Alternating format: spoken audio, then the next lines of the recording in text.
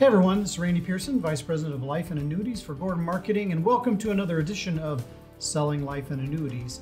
Today I've got with me Paul Bechtold. He's the manager of our Your Family Bank program, as well as a, a producer, an advisor who's out selling life insurance. And you know, um, we're recording this video towards the end of September 2021, and of course, you may be aware that September is Life Insurance Awareness Month. And Paul came to me with an interesting story relating to life insurance that I thought we would share. So, Paul, why don't you uh, tell the audience a little bit of what happened recently?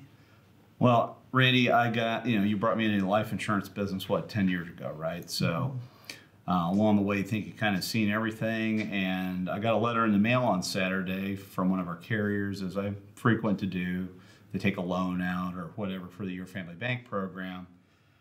But it was actually a letter about a lead that had come in uh, last uh, fall that we had written policy on for the Your Family Bank program, and it was to notify me that he of his passing. Okay. Wow. So you had a client that purchased a policy through the program, and, and he died unexpectedly.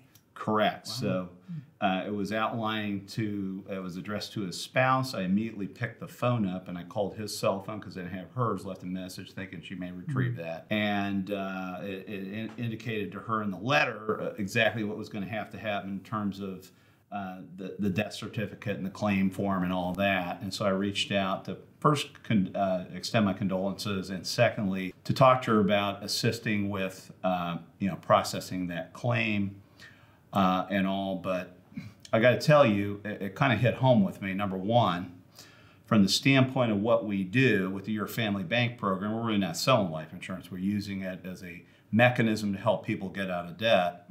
But as I like to tell all my clients when I close the sale, is that you have a plan that works no matter what happens in life. Okay, so uh, to the point you made earlier, I found that it was ironic that coming on the end of life insurance awareness, one of those realities of the policy that we put in place for the YFB is that it's a when policy, not an if policy like term right. is. And so, speaking of that when, the policy itself had only been enforced for a relatively short period of time, right? Yeah, less than a year. Wow. So here's here's a product that the consumer purchased to address a financial need, a want, that being getting out of debt. But in the end, in, in less in a, in a, year or less than a year and a half, um, the death benefit is being paid to his spouse to make right. sure that she can guarantee her financial security. Right? That that is correct. So what was ironic is, you know, the gentleman when I met with him was during the COVID outbreak. He actually passed from COVID. Okay, so the reality of that for you know, especially the elder clients out there, we're going into you know the Medicare season where mm-hmm. still many people uninsured, and that's a very uh, strong uh, you know it's a reality that most seniors have to be aware of. Um, but he, he, passed from COVID. He was only 60 years old. Mm. Okay. So you know, it was a shocker. I'd met with him three, four times, and actually, ironically, we had gotten his finances well in order. Okay, the program was working beautifully for him. He had paid off a lot of debts. And with the death benefit, the program will actually be successful, right? Because his spouse will be debt free.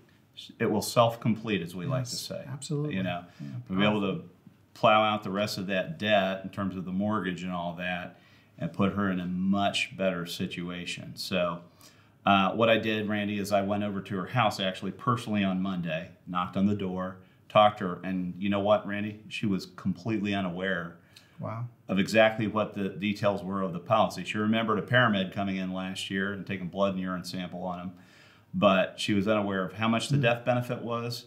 And by the way, we actually tripled her death benefit from what he had before. Mm-hmm. Okay, mm-hmm. um, but she was completely unaware, and and it, you know, a time of distress like that, it, you you can't find one hand in front of the other, and to to offer the help to process the death benefit claim to help her with that, settle her down from financial worries on top of personal mm-hmm. loss. You know, I felt really good about it.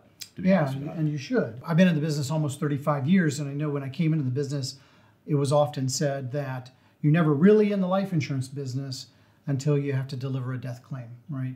You know, at the time of grief for the family, a lot of folks are showing up with flowers and extending condolences, but you're bringing financial security in addition to all that, and it's super powerful.